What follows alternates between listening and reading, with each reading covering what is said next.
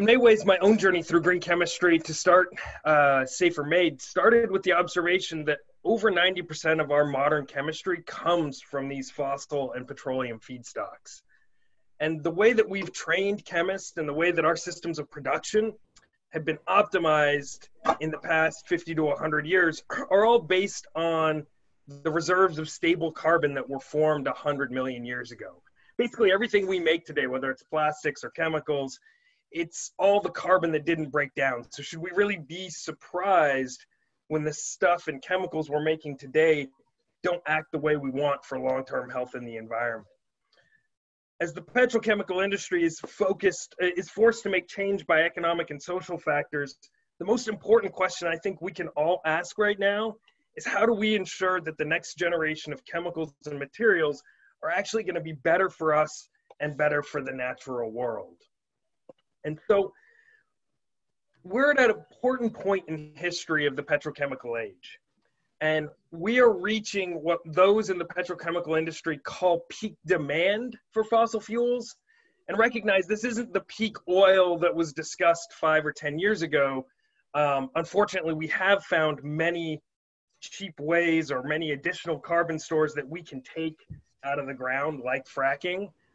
But what has happened um, recently and is accelerating in the in the world of COVID is that we're reaching peak demand for fossil fuels. And as you can see, fuels are the vast majority of what we use the carbon we pull out of the ground for. Um, and what petrochemical producers are finding is that they're having a harder and harder time money making uh, selling that fuel. And in fact, as uh, recently as a couple weeks ago, the price of of oil uh, went negative actually in the U.S. Right, so anything below forty dollars a barrel, and you can't make money fracking and selling as fuel.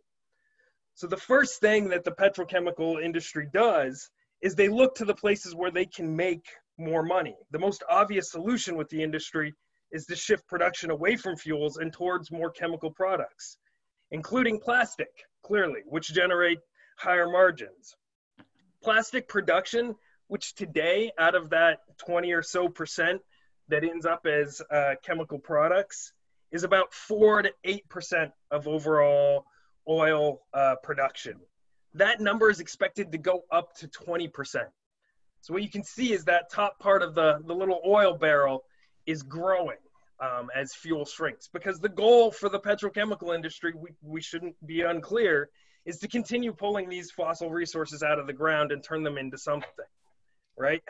What's interesting is that as fuels become less profitable, there's a lot of pressure on the industry. And right now, um, thanks to the work of many folks in this room, uh, it's less attractive to invest in these companies, which means they're going to have a harder time building this infrastructure for the future. I um, was pleased to read this weekend that some of the the projects for turning uh, fracked gas into uh, plastic are actually now on hold in uh, Ohio and Pennsylvania. Uh, this is the time to act. And why is it the time to act?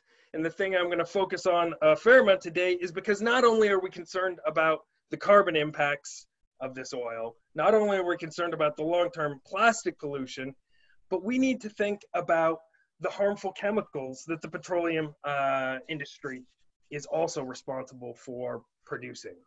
So let's start just looking at packaging material generally. It's certainly a front and center when we think about plastics, but that's not the only place petroleum is adding to the, the toxic chemical burden. When you look across metal, paper, and plastic, all of them have chemicals of concern. So all of these are chemicals concern associated with these various packaging types. And yes, plastic has a lot of chemicals of concern associated with them, but not uh, so do the other types of packaging materials. It's important to note here that of this list of uh, a couple hundred chemicals, basically all of them are coming from the petrochemical industry, right? So let's take a closer look at plastics in particular to think about where we find chemicals of concern. What you see highlighted here are things that match with Arlene's uh, six classes, right? And you'll notice that when we consider the lifestyle of plastic production, all the way from monomers to additives, um, to how we manufacture and, and then where this plastic ends up at the end of its life, there are a lot of chemicals that are used along the way, many of which have been shown to create significant harm to human health and that last uh, a very long time in the environment.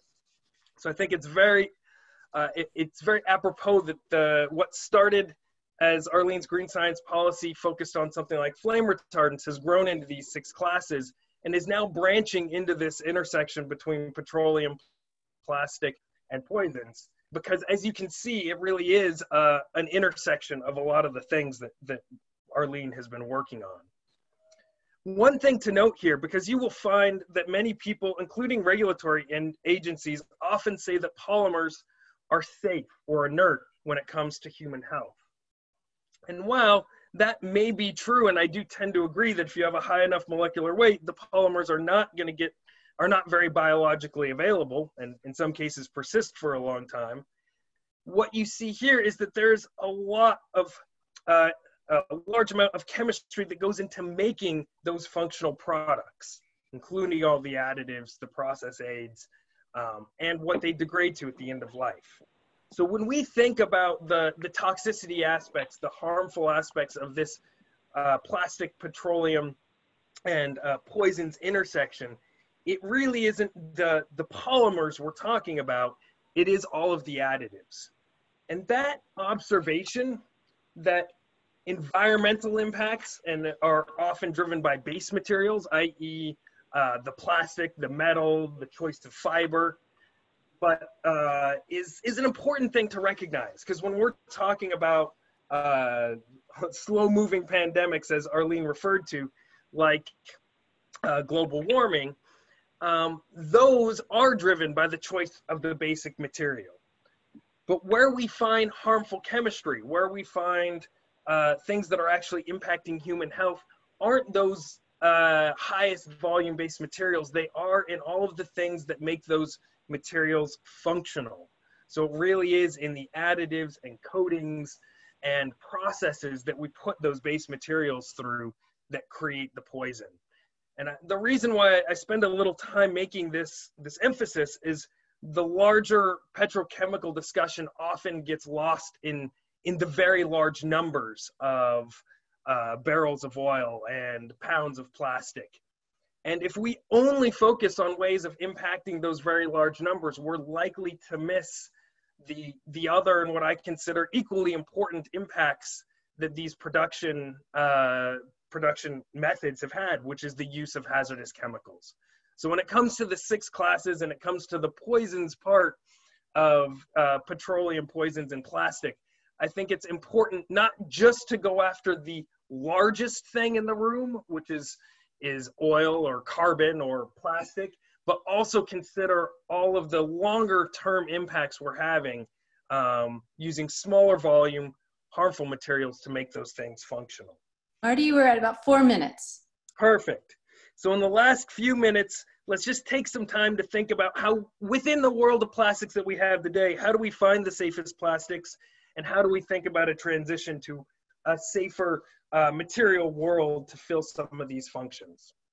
So this is work from the, the Biz NGO, and you can find other work like this. And the reason I pull it up here is it is important to recognize that all plastics are not created equal, and they're not all equally bad or good. Certainly, uh, both when it comes to human health, um, and also even when it comes to how long they're going to last in the environment my biggest targets for removal and substitution have always been and continue to be the polyvinyl chlorides, the chlorinated polymers in general, halogenated polymers in general, the styrenes, and then lastly, and maybe slightly more controversially, the polyurethane uh, because of the diisocyanates.